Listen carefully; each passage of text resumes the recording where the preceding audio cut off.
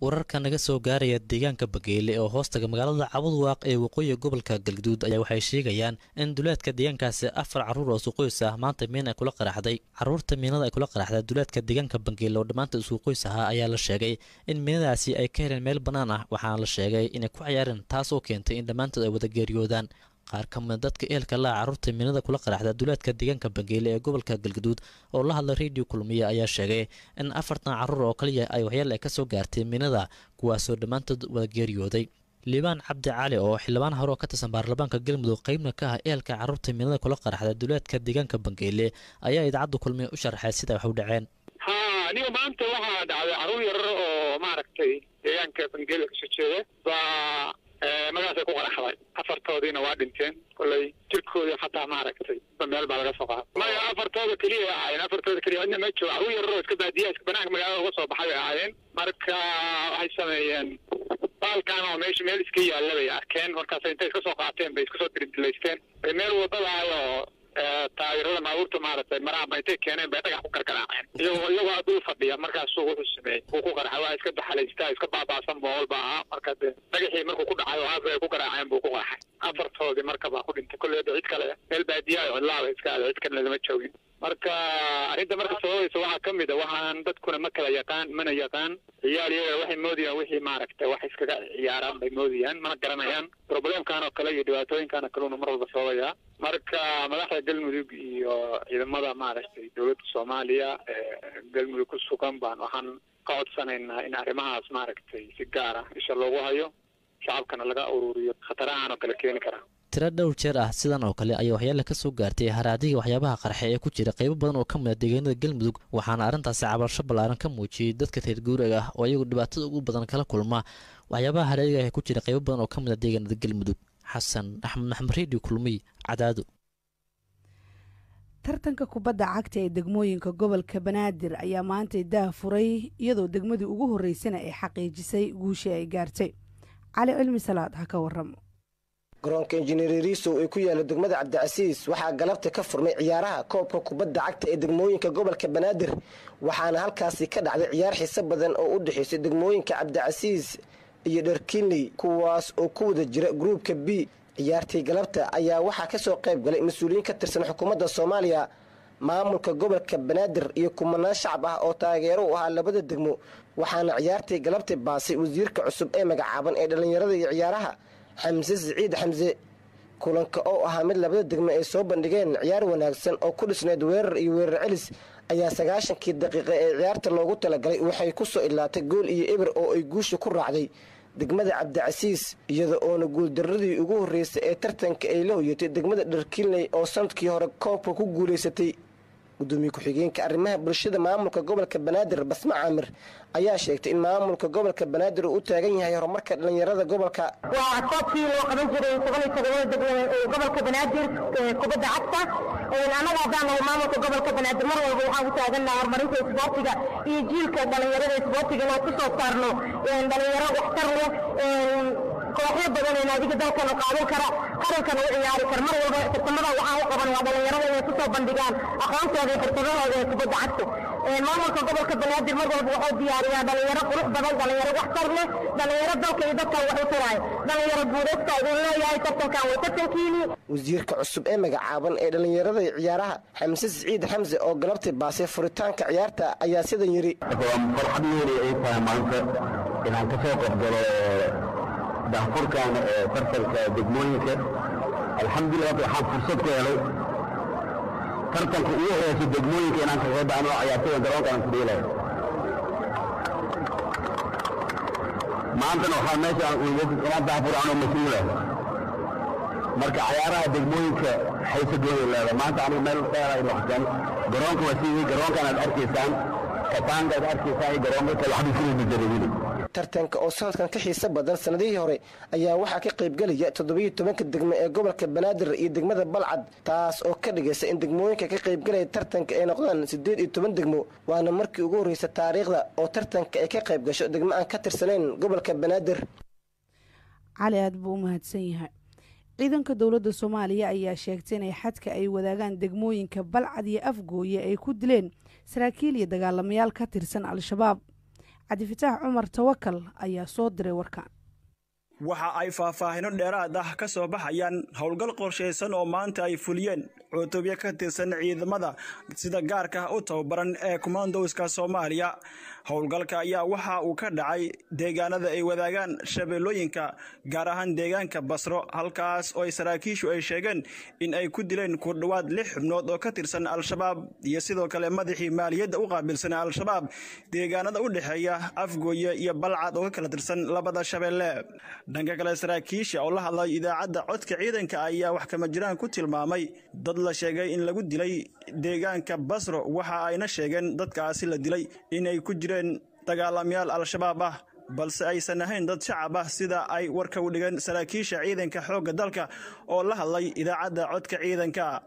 Si kastoo yaamuurta ahaataba deegaanada u dhexeeya balcad iyo afgooye ayaa maalmihii dambe waxaa ka soconayay howlgal qorshaysan oo ay wadeen ciidamada sida gaarka ah u tababaran ee kommandoska soomaaliya waxaana caawa guud ahaan degan deegaanka basro oo maanta howlgalka uu ka dhacay halkaas oo ay ciidanka ku dileen ku dhowaad lix dagaalame iyo sidoo kale madaxii maaliyadda.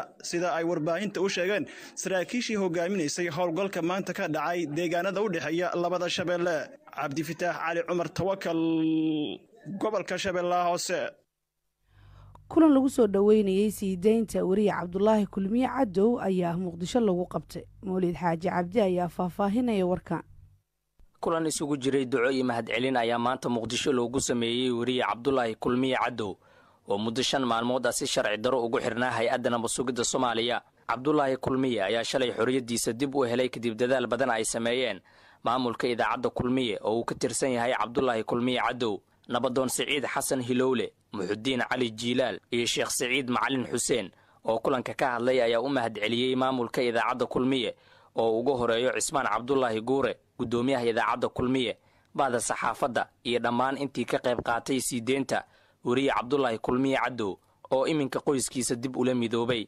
Nugan waxaa lamida isagoo xoogaa jawigiisu kacsan yahay maantana maaragta dadku waa faraxsan yihiin aad iyo aadaan u faraxsannahay waxaan u mahad celinayaa dadkii ka qayb qaatay sii daynta weriye cabdullaahi kulmiye cadow oo maaragtay si aan sharci ahayn loo mara xirigiisa. Waxaan ka mahad celinaa dadkii ka qayb qaatay sii dayntiisa oy ugu horeyso bahda saxaafadda oy maaragtay aada u dadaashay ninka la yidhaaho awaanguure u dadaalay iyo maaragtay ehelkii soo gurmaday oo maaragtay aada uga tiiroonaada xirigiisa. Isagana waan u mahad celinaa beriga waxaan isugu nimiday jawi qurux badan oo farxad lahoon sida xoogaa jawgii maanlewad aan ahayn oon aada ugu faraxsannahay. Intii ka qayb qaadatay sii dayntiisa kullina waa u mahad celinaa laakiin hadda waxaan mahad u celinaynaa allahu subxaana wa tacaala ku soo celiyey xorriyadiisa.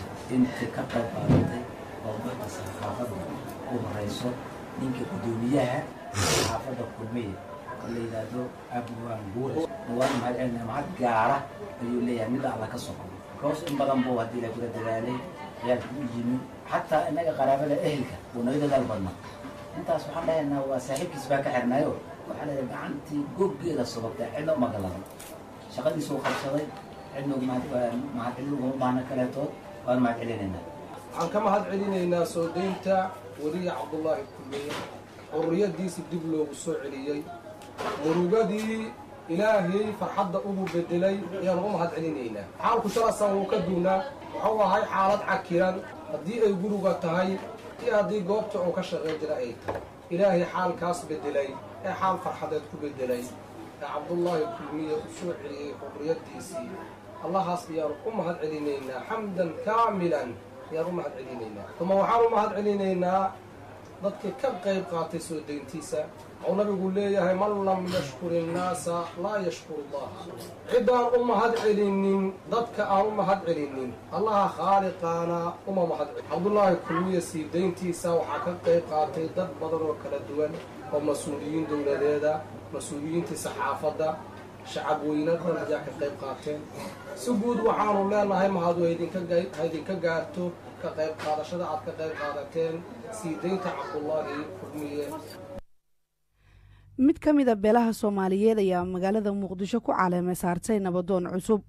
Axmed maxamed ibraahin ayaa faahfaahinaya warkaan munaasabad kooban oo maanta lagu qabtay magaalada muqdisho ayaa loogu calayma saaray nabadoon cabdiqaadir axmed maxamed inuu noqdo nabadoonka guud ee beelaha reer allamagan nabadoonnada iyo waxgaradka ka qaybgalay munaasabadan ayaa nabadoonka maanta la caleema saaray. Kula dardaarmay u cadaalad samaynta dadka uu matalo. Waxaa nooga soo baxay siddeedda jifo markaan wakhti dheer isku qaadanay inaan nabadoon cabdiqaadir axmed maxamed aan caleemo saaranno annagoo ka fiirnay dhinac walba. Waa soo miisaannay waa soo jeekinnay akhlaaqdiisaan fiirinay sharaftiisaan fiirinay diintiisaan ogaanay aqoontiisa maadigaan fiirinay waxaa noo caddaatay. Maantana alxamdulilah waxaan haysanaa hogaamiye maantana matalo ummadda soomaaliyana aan ka gadayno waxaan idinka rabnaa walaalayaasha. Maanta cabdiqaadir axmed maxamed inaad nala qaadaan. Oo xaggayna waa soo boqornay nagula duubtaan oo nala xambaartaan oo aad mataqaan nala doorataan. Waa nin soomaaliya maanta u soo xulnay inuu hogaanka u qaban karo. Ninka aad doorateen annagana waa idinla dooranay. Tan kale waxaa la yidhi nin haddaad mar nabadoon ama ugaas tahay arrimaha ka xaaraantaan rabaa inaan u sheega beenlow inaad noqoto lama rabo baqayl inaad noqoto lama rabo fuli inaad noqoto lama rabaa layidhi xilliga maanta aan joognayna xilli xun weeye. Ninkan hadda waxaa laga yaabaa inuusan dadkii reer sada ku soo dhex korin oo meel geesu ku goray. Waxaad noqotay nabadoon reer sada ka mid ah. Meeshii aad joogta waxaa la rabaa marka inaad ka matashid sadoo dhan waxaan rabnaa nabadoonku waa nabadoon soomaaliyeed. Mar qabiilow nooga yimid kollay wiil hooya dhasha waayay hooya waa noo korisa waana miiskowna soo fuulay. Qadarta allowna ku yimid. Dad badan oo ka diin badan ka aragti fog taraxaa jira ka aqoon badan. Laakiin hibe ilaahay waaye. Dadkan iyo dad maqan oo malaayiina duqaad ka tahay. Duqaynoonaalameeladka duqtaaysa dhihin. Kaliyahaan ka rabnaa. Waxaa kaloo ka rabnaa dadka soo xulay oo reer cabdicasiis waxbaaga dhan ogahay waxaana way sheegi doonaan inuu dhulka qaadaan rabaa nabadoon cabdiqaadir axmed maxamed oo ah nabadoonka maanta loo caleyma saaray inuu noqdo nabadoonka guud ee beelaha reer almagan maruu hadlay ayaa waxa uu shaaca ka qaaday inuu ka soo dhalaali doono xilka nabadoonnimo ee loo caleyma saaray islamarkaana dadka uu matalo u cadaalad samayn doona. Waxaan ballan qaadahayaa tolka meesha isugu yimid iyo soomaaliyoo dhan inaan u cadaalad samaynahayo haddii ilaahay idmo.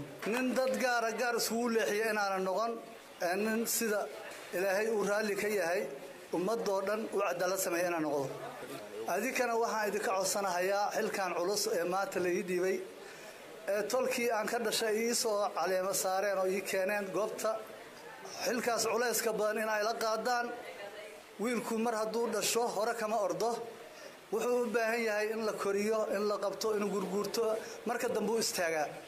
Akhyaarta halkaa isugu timid ee odayaasha leh ee nabadoonnada leh ee tol kale waxaan ka codsanahayaa sidaas aan ka dardaarmay inay garbaha ay qabtaan intii aan ka istaago